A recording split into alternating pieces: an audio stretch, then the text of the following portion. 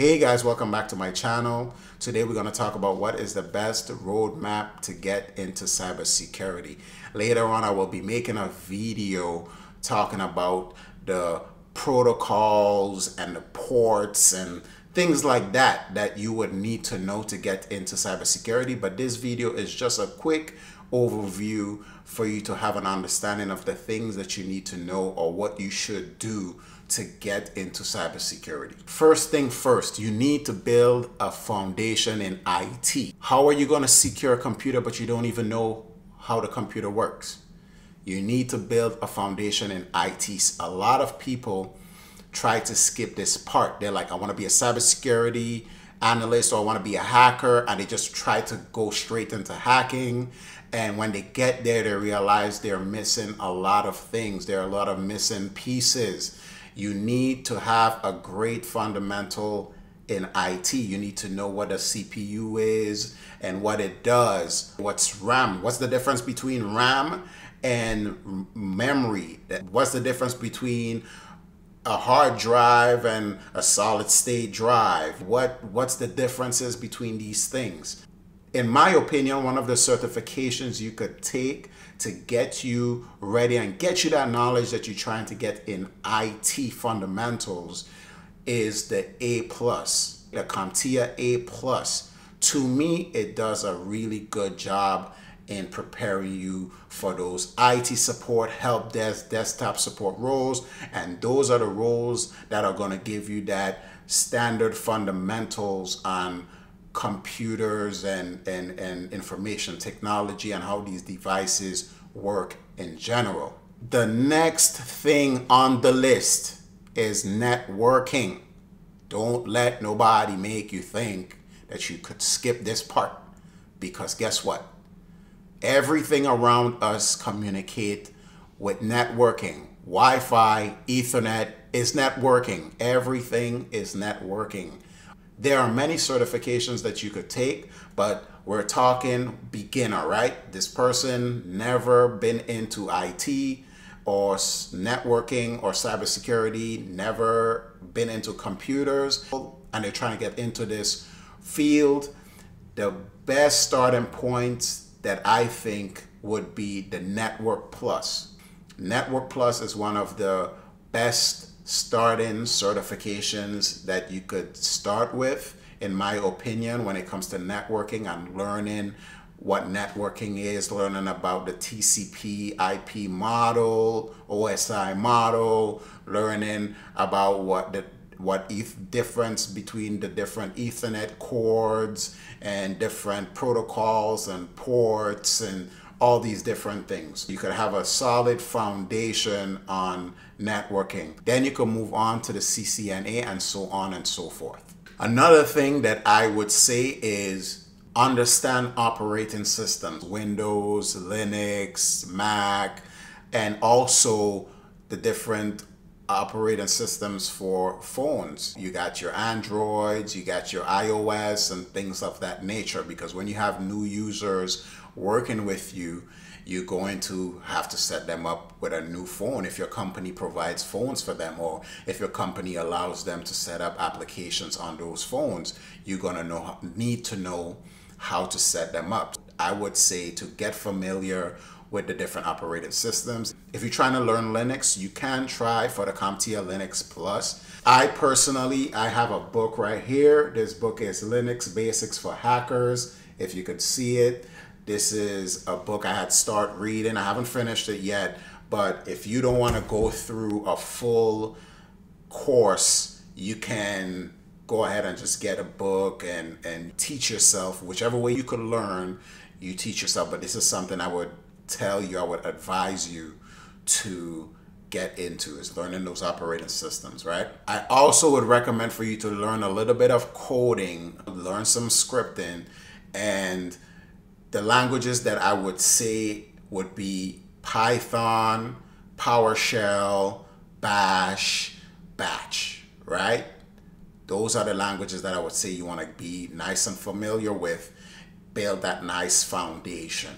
Also, I forgot to show you guys, I have this book right here. It's Network Basics for Hackers. This is another book that you can get. All right. This is just some of the resources that I get. I'm trying to learn in every different aspect. This is how you should be. You watch videos, you read books, you do hands on. Now, finally, you got your IT fundamentals down pat, right? Now you got your network fundamentals down pat, right? You got some operating systems down pack so you understand how to work with Windows, you understand how to work with Linux, how to work with Mac, how to work with different phone systems and, and iPads or whatever the case may be. You have that down pack. You have a little bit of scripting, programming down pat. You could look at a Python language and say, oh, this looks like Python. Even if you might not know every single thing it's saying, you can identify it. You see a bash script, you could identify it. You see something in batch, you, are, you can identify it. If you see something in PowerShell, you can identify it. You could use PowerShell to do certain things and manipulate certain things on your computer. Now, now you want to move into the cybersecurity aspects. Now you start to work on cybersecurity fundamentals. Now, those things you did prior are going to fill in those little gaps that you would have been missing if you had just went into straight into cybersecurity.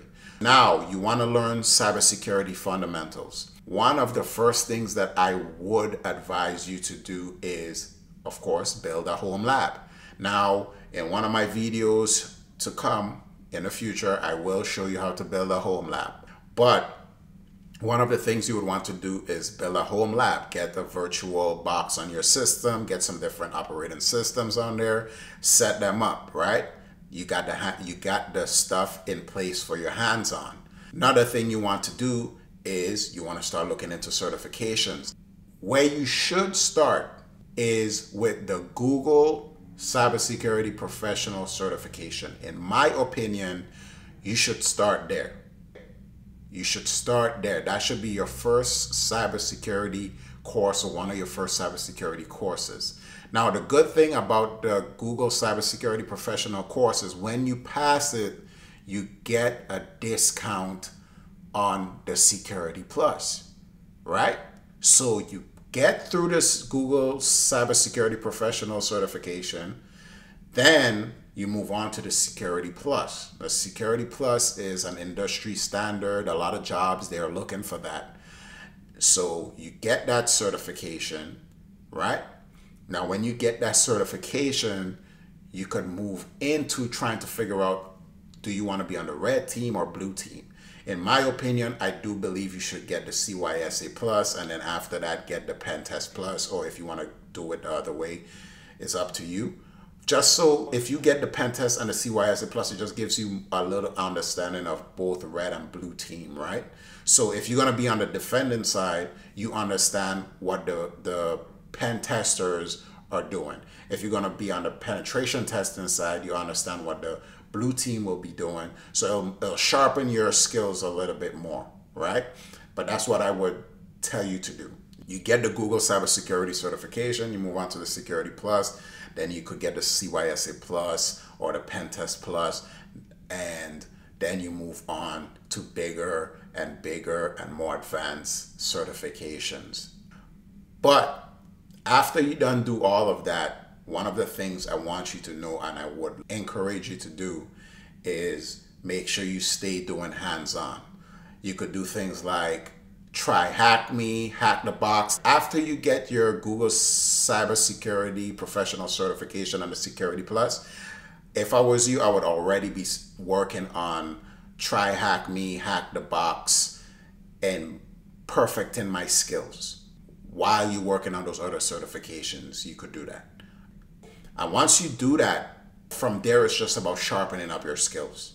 Once you hit once you start once you get to the CYSA plus the Pentest plus you're doing hack the box try hack me and all the other different platforms and you killing it from there you just sharpening up your skills. From there you just sharpening up your skills.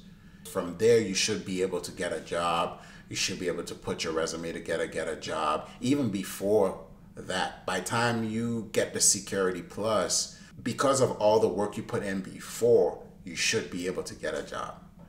You should be able to get in somewhere. But that's the road. That's the way to take it. Make sure you build a foundation first before you get into the security and stuff because once you start taking the security courses you don't want to feel like you're missing information like you don't understand what this and that is. And some of the things you might not understand it is beginner stuff. So you're gonna be like man well how am i trying to be a security professional and i don't even know what these beginner stuff are? Build that foundation in it build that foundation in networking understand the operating systems also understand the scripting languages and stuff and then get into that security role and then just perfect it and sharpen it up. I hope this video was able to help you and thank you guys for watching. I will see you guys in the next one.